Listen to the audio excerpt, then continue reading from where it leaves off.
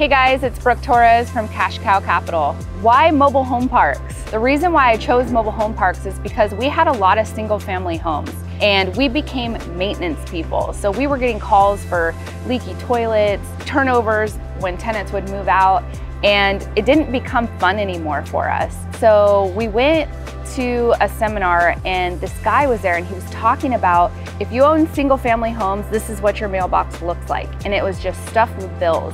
And then he said, if you own mobile home parks, this is what your mailbox looks like. And it was just stuffed with cash.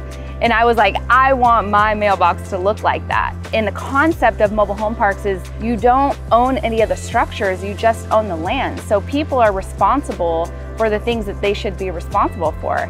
And I loved that model of it and I could see the scalability of it.